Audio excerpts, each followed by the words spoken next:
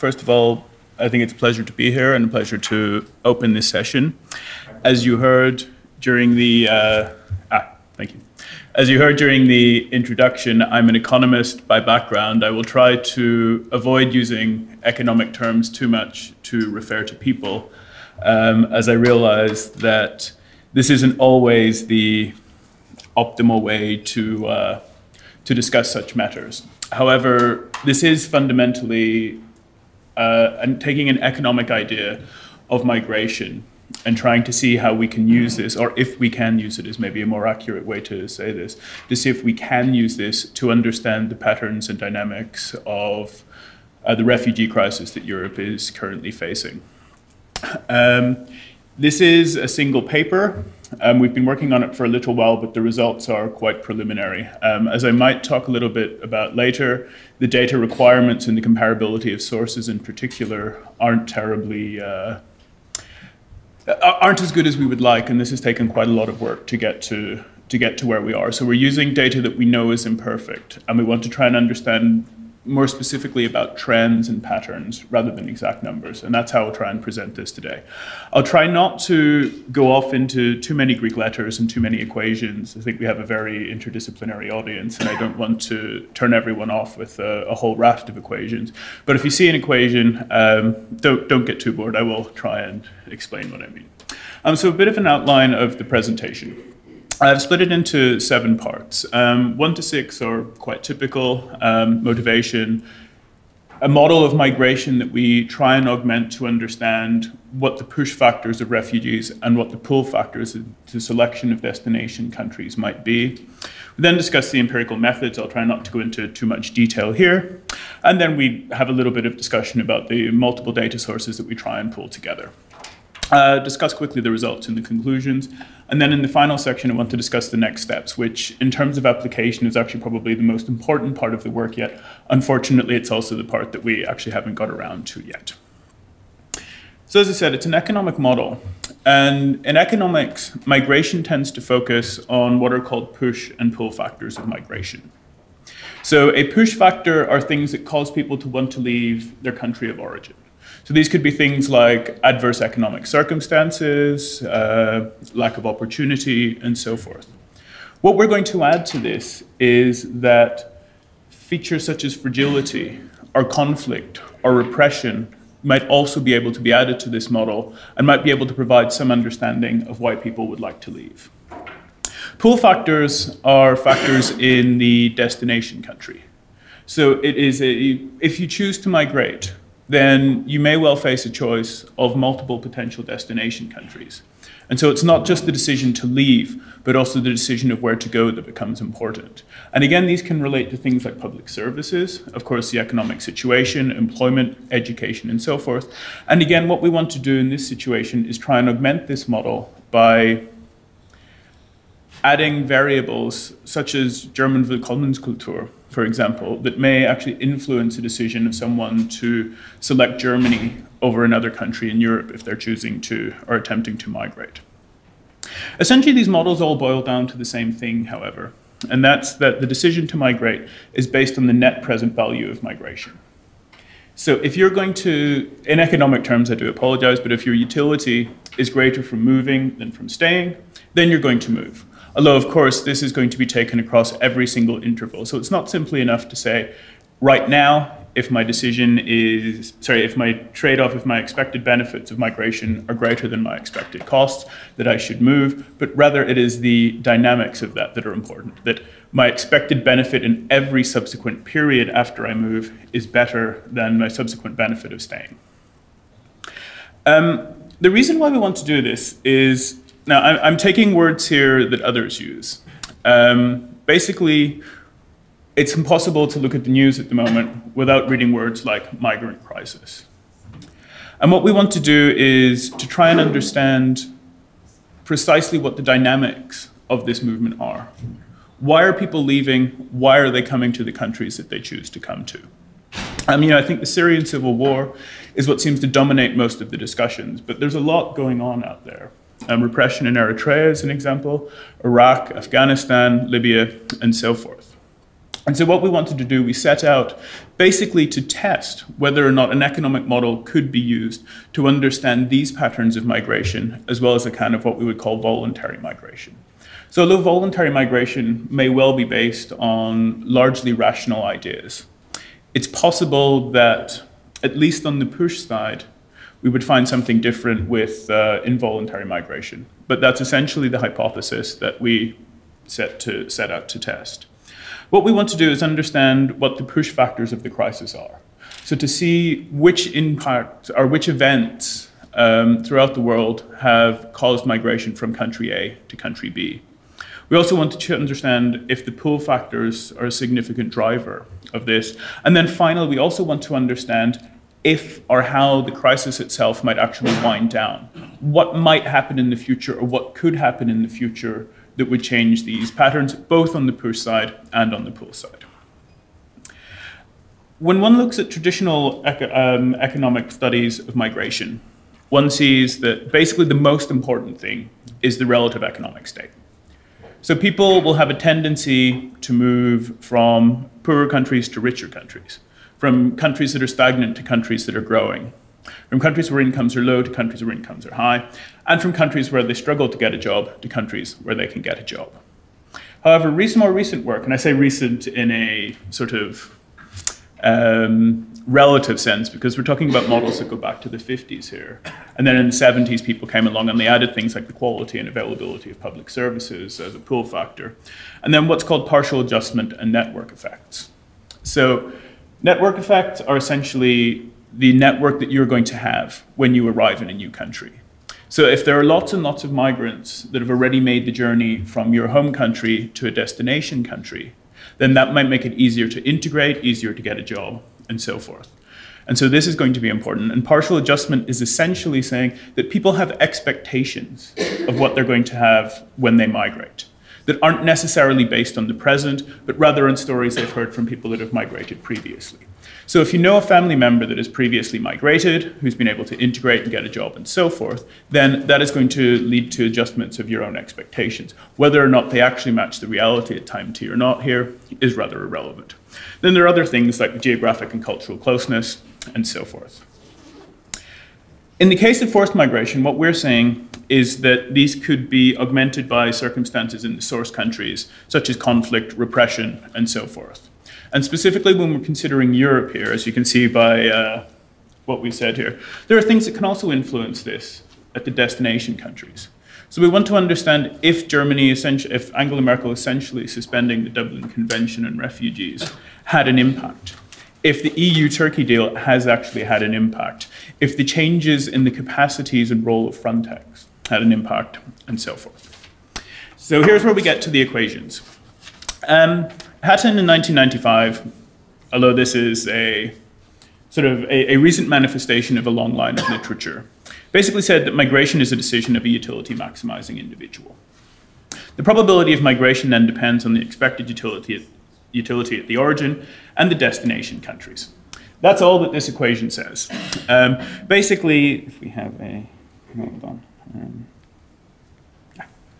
so we have your expected utility at the destination country, minus your expected utility by staying, plus personal influences, costs of migration, and so forth. So fundamentally, if this equation is positive, then economics posits that an individual will choose to migrate. Borjas in 1987 extended the basic framework that we're discussing here to include a probability of employment in public services and so forth.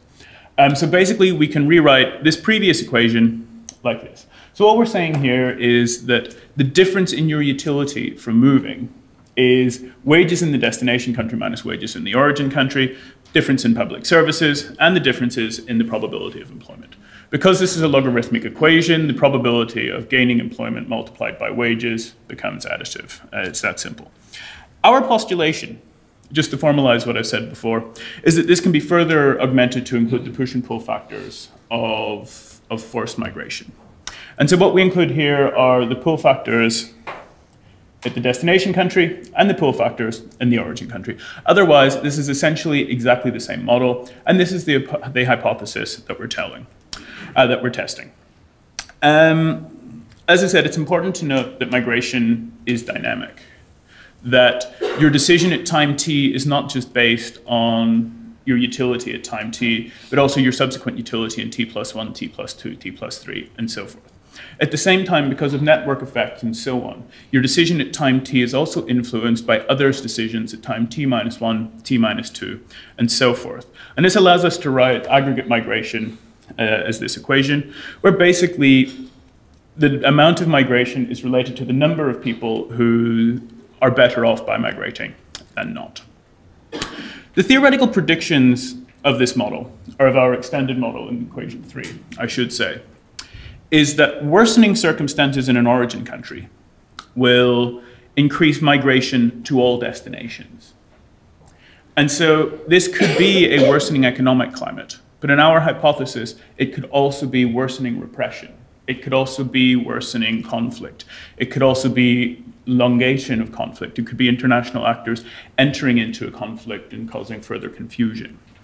Um, but the same goes that if the situations improve, then obviously this should lead to reductions in, in net migration.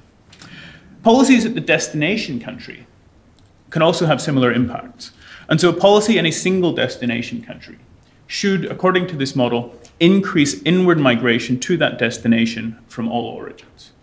Now, obviously, if every single country in the sample um, sorry, um, decides on exactly the same policy, then we're going to find that migration to every single destination country should also increase. Okay, um, basically, as migration is dynamic, I'm going to go back to this equation. I do apologize, uh, but this highlighted in red is the most important part. Because what we're saying here is that it's not just a case of your circumstances at time t but also how you expect your circumstances in the future to be. So it's not just a case of saying Syria faces a conflict or people in Eritrea face repression, but rather the expectations that those people are going to have in the future and we know, we know from other conflict research how complicated this can be because exposure to conflict itself has very damaging impacts on individuals' expectations of the future, which can then lead to adverse selection in, out of education or adverse selection out of the labor market, out of entrepreneurship, and so forth. Um, anyway, with some clever uh, messing around with the equations, we can basically get the following econometric specification. And what we're particularly interested here are the dynamics of migration. So we have the lagged migration, migration from the previous period, and the migrant stock, so the sum of all migrants that have come from a country to a source country. We're also interested in lag control variables and the change in control variables when this is available to us. And so what we're trying to estimate is, um, is migration from an origin, sorry, to a destination country from an origin country, which is based on basically unique aspects of relationships between countries. So if you take two countries, their history of migration, their cultural closeness, and so forth, are likely to be fixed in time, and that's what this captures. Similarly, there's likely to be something that relates to the specific time period. So whether this is uh, to do with policies themselves, whether this is to do with um, you know, the, the push factors or something like that, there are things that are going to be unique to the time period. And we control for both of those. We control for past migration and uh, the migrant stock. And then finally, we're going to look at these uh, control variables. And what we do with these control variables, as I said, is we take typical economic migration models, we control for everything that we can that is usually significant in those, and then we add these push and pull factors that are relate to policies and to situations around the world. Okay. Um, if the terms 2D panel and 3D panel mean nothing to you, I don't blame you. I didn't know what they meant until I started this paper either. But traditional uh, migration literature looks at typically either all inflows to a single country or inflows from multiple countries into a single country. And what has often been missing is that actually this doesn't capture everything that the relationship between Afghanistan and Germany is probably going to be different to the relationship between Turkey and Germany and so forth. That there are unique impacts there that are driving those levels of migration. And so what we want to do is use a so-called 3D panel, which um, Ruyssen et al. 2012 or one of the, or some of the recent people to, to use. Others have done it as well. And what this does is it creates country dyads. So you look at the relationship of migration from every destination country to, uh, from every origin country to every destination country. And so what we did is we created dyads between the EU, 28 countries in the EU, and uh, five illustrative origin countries. We're going to expand this to include a lot more information as and when we can. Um, but for the moment, because of the extensive data requirements and so forth, this has been a little bit too, uh, difficult, so we focus on these five countries just for now. Um, we use a bunch of uh, panel estimators. If you don't know about panel estimators, that's okay, don't worry about it. If you do, we want to correct for dynamic panel uh, biases. Uh, so in addition to the typical FE, which we know is going to be biased, we also run the Arellano-Bond first difference GMM, Arellano-Bond system GMM, and the Pesaran mean group CCE. Um, data requirements are quite significant because we need data on dyadic migration, economic data for origins, which is, uh, sorry, for destinations, which is easy enough. But when we're dealing with conflict affected countries, repressed uh, states with a lot of repression and so forth, it's a lot more difficult. And so we have to do a bit of legwork there. We look at violence, fragility, repression, and other political data in origin countries, and policy data in, uh, that should say destination countries, sorry. Um, so what we use is imperfect. Um, we know this is going to be imperfect because we don't, but we don't have anything better. So we use the first-time asylum applications by origin and destination country from UNHCR. This isn't going to give, allow us to have an exact number, but it will allow us to discuss trends and so forth. Economic data from the origin countries is badly pieced together from the World Bank, CIA Sourcebook, and various estimations. We use quarterly data. Often all we can get is uh, annual data. So we use all of the quarterly data we can to estimate what the uh, what the quarter figure from the annual figure should be. Uh, for the destinations, it's easy enough. We get it from Eurostat. Violence, we use UCDP. Where we have it, we use ACLED. Where there's no UCDP, we use UCDP where there's no ACLED. Uh, we use journalistic sources and so forth. And policy data we take from journalistic sources. Uh, so we include current migration, lagged migration, a moving total of migration, and perhaps most importantly, the probability that an individual will be allowed to stay if they reach the destination country. Uh, we include socioeconomic variables, we include the conflict uh, event counts and major political upheavals, we use changes in the EU border force, uh, the de facto changes to the Dublin Convention, and so forth. We also use the inverse distance between the two capital cities for each dyad to attempt to, at least in some way, control for the cost of migration. Um, I'll skip this for now. Okay, so what we find is, to those that don't know, stars are good um, when you're looking for a statistical significant finding. And we have a lot of stars in, uh, in this graph. In fact, we have the maximum number of stars we could have, which is really good because it matches our priors. So what we're saying here is that there is a strong positive predicting effect of current migration based on lagged migration. And so we have this partial correction that we were discussing we have a large positive and significant effect from the migrant stock. So the more people that come, the more people that are in a country, the more people will come. And reassuringly, the probability of an individual getting success, um, an individual's asylum application being successful is a strong predictor. Socioeconomic variables, as you can see, we're losing stars. Um, in a way, as an economist, this is perhaps a bad thing, but it's very understandable in the particular circumstances that we're dealing with. That actually what we're saying, or what we're finding, or what we're seeing here, is that there is no economic effect. It is not economics that is driving the migration itself. And finally, when we look at the origin and destination variables, what we find is that really big events. Um, so in Iraq, the period after um, Islamic State taking Mosul, for example, is a strong and significant predictor of, uh, uh, of, migration from Iraq to all European countries. Similarly, um, the duration of the Syrian conflict is also positive and significant. We don't find the same for Afghanistan, Libyan, Eritrea, Libya and Eritrea, and we also don't find it for small, um, relatively small events, so conflict event counts and so forth. We don't find it for. Okay, so this is perhaps quite surprising in a number of ways. Because what we see is that there are certainly drivers at the origin countries, but not at the source countries, or sorry, not at the destination countries. And we think what we're finding here is that because most policies that have been enacted essentially apply to the entirety of the EU, that we don't see a differential effect as a result of that. Perhaps more reassuringly, though, we also show that barriers, so these are when countries have erected physical barriers, they have absolutely no impact at all. So at least this is maybe something that we can take away and something we can recommend. That the barriers don't work, so the state may as well save money and look a little better. Um,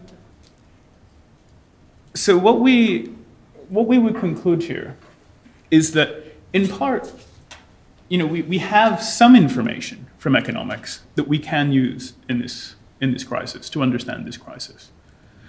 But that not everything that predicts voluntary migration, shall we say, is something that also predicts uh, involuntary migration. And I think that's a very important takeaway because we're saying that yes, we can see some of the impact of repression, of conflict, of violence, of fragility, and what is driving people.